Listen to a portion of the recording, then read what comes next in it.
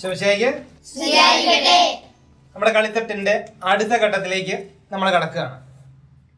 കഴിഞ്ഞ ക്ലാസ്സിൽ കൃത്യമായിട്ട് പറഞ്ഞത് നല്ല ഒരു ആർട്ടിസ്റ്റ് ആകണമെങ്കിൽ ഏറ്റവും ബെസ്റ്റ് ആയിട്ട് എന്ത് വേണമെന്ന് പറഞ്ഞേ?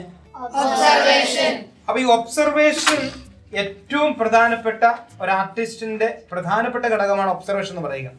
ഒബ്സർവേഷൻ ഉണ്ടെങ്കിൽ മാത്രമേ നമുക്ക് രണ്ടാമത്തെ ഘട്ടത്തിലേക്ക് ഒരു ആർട്ടിസ്റ്റിന് വളരാനായിട്ട് സാധിക്കത്തുള്ളൂ. രണ്ടാമത്തെ ഘട്ടം എന്ന് പറയുന്നതാണ് ഇമാജിനേഷൻ എന്താണ്?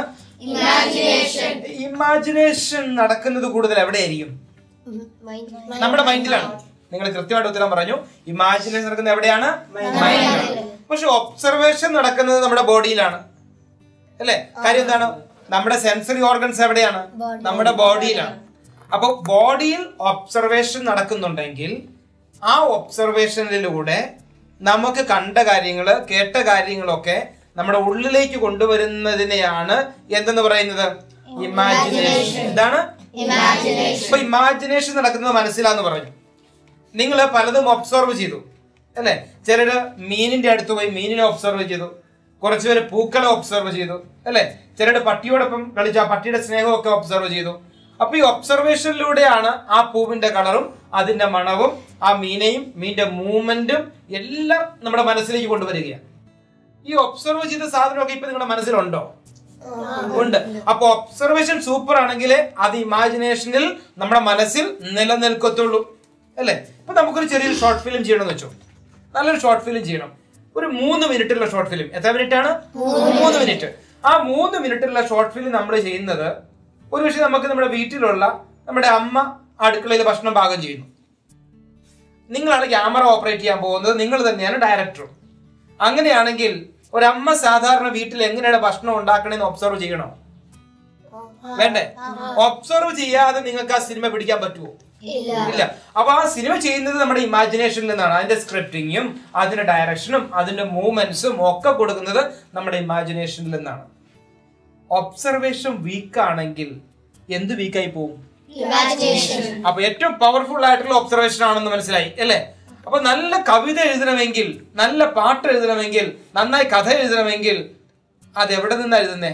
നമ്മുടെ ആ മനസ്സിൽ നിന്നാ നമ്മുടെ ഉള്ളിൽ നിന്നാ. ഉള്ളിലേക്ക് ഈ കഥയും കവിതയും പാട്ടും ഒക്കെ വരുന്നത് എവിടെ നിന്നാ? ഒബ്സർവേഷൻ ഒബ്സർവേഷനിലൂടെ ഇമാജിനേഷനിലേക്ക് കൊണ്ടുവന്നിട്ട് നമ്മൾ പ്രൊഡ്യൂസ് ചെയ്യുകയാണ്. അല്ലേ? അപ്പൊ അങ്ങനെ ഉള്ള കുഞ്ഞുങ്ങളെയാണ് നല്ല ആർട്ടിസ്റ്റ് എന്ന് പറയുന്നത്. അങ്ങനെ ഉള്ള കുഞ്ഞുങ്ങളെയാണ്. നിങ്ങൾക്ക് ആർട്ടിസ്റ്റ് ആകാൻ ആഗ്രഹമില്ലേ? അതുകൊണ്ട് ഇനി മുതലുള്ള മുമ്പോട്ട് നിങ്ങൾ നിങ്ങൾ സ്കൂളിൽ പോകുമ്പോഴും വീട്ടിലായിരിക്കുമ്പോഴും റോട്ടിലൂടെ നടക്കുമ്പോഴും വണ്ടിയെ കയറി പോകുമ്പോഴും ഒക്കെ നമ്മൾ വളരെ കീൻ ആയിട്ട് ഒബ്സർവ് ചെയ്യണം. ഒരു വ്യക്തിയുടെ മുഖത്തേക്ക് നോക്കിയാൽ ആ വ്യക്തിയുടെ ഉള്ള എന്താണെന്ന് മനസ്സിലാക്കാൻ സാധിക്കും. ഇപ്പൊ നമ്മൾ റോട്ടിലൂടെയൊക്കെ കടന്നു പോകുമ്പോൾ ബഗേഴ്സിനെ കാണാറുണ്ടല്ലേ? അല്ലേ? അവരുടെ ജീവിതത്തിൽ അവർ മനഃപൂർവം ആയിപ്പോയതല്ല അങ്ങനെ ആയിപ്പോയതാ. അല്ലെ? ആർക്കെങ്കിലും ബെഗറായിട്ട് ജീവിക്കണമെന്ന് ആഗ്രഹമുണ്ടോ?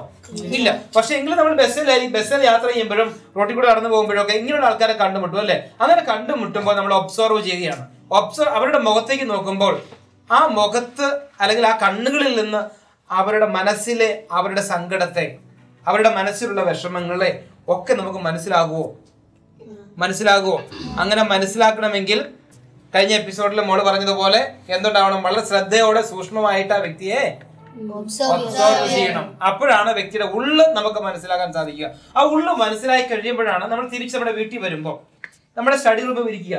സ്റ്റഡി റൂമിൽ ഇരിക്കുമ്പോഴത്തേക്ക് നമുക്ക് തോന്നിയത് എനിക്ക് ഒരു കഥ എഴുതണം. എന്റെ കഥ എന്ന് പറയുന്നത് ഞാൻ ഇന്ന് ആ റോഡിന്റെ വക്കിൽ കണ്ട ആ ബസ് സ്റ്റാൻഡിൽ കണ്ട ആ ഒരു യാചകൻ അല്ലെങ്കിൽ ആ യാചിക്കുന്ന ഒരു സ്ത്രീ അല്ലെങ്കിൽ സ്ത്രീയും കുഞ്ഞും കൂടെ അല്ല ആ കൊച്ച് അല്ലെങ്കിൽ ആ ഒരു വഴി വഴിവക്കിൽ ഇരിക്കുന്ന മനുഷ്യൻ വികലാംഗനായ മനുഷ്യൻ ആ മനുഷ്യനെ ഒബ്സർവ് ചെയ്തു ഇമാജിനേഷനിലേക്ക് കൊണ്ടുവന്നിട്ട് നമ്മൾ ഒരു കഥ എഴുതുകയാണ്. അപ്പൊ നമ്മുടെ കഥാപാത്രമാരായിരിക്കും? ആ യാചകനായിരിക്കും അല്ലേ? അപ്പൊ ആ കഥ എഴുതണമെങ്കിൽ ആ മനുഷ്യന്റെ വികാരങ്ങളെ ആ മനുഷ്യന്റെ ചലനത്തെ ആ മനുഷ്യന്റെ കണ്ണുകളുടെ നോട്ടത്തെ അല്ലെ? ഇതൊക്കെ നമ്മൾ കീഴായിട്ട് ഒബ്സർവ് ചെയ്യുമ്പോഴാണ് നമുക്ക് അദ്ദേഹത്തിന്റെ ഉള്ള അറിയാൻ സാധിക്കുക. ഉള്ള അറിയാതെ നമുക്കൊരു കഥ എഴുതാൻ പറ്റില്ല. നമുക്കൊരു കവിത എഴുതാൻ പറ്റില്ല. അപ്പൊ നിങ്ങൾ ആർട്ടിസ്റ്റ് ആകാൻ ആഗ്രഹിക്കുന്നു എന്ന് പറയുമ്പം ഈ ആർട്ടിസ്റ്റ് എന്ന് പറയുന്നത് ചുമ്മാ ഒരു ഫീൽഡിൽ മാത്രമല്ല അല്ലെ? ഫോട്ടോ എടുക്കാൻ മാത്രം പഠിച്ചാൽ പോരാ.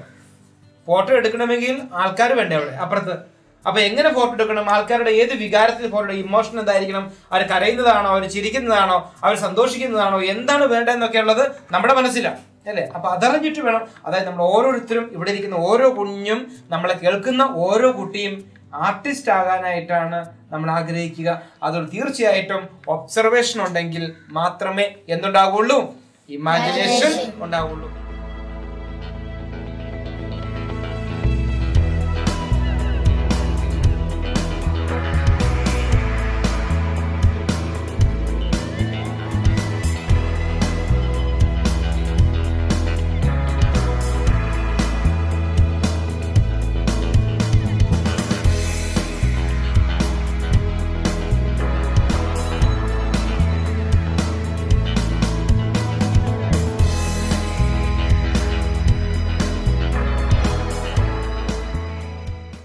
ഈശോയുടെ കുട്ടികളായ നമ്മൾ നല്ല കലാകാരനാകാൻ കലാകാരിയാകാൻ ആഗ്രഹിച്ചാണ് നമ്മൾ എത്തിയിരിക്കുക.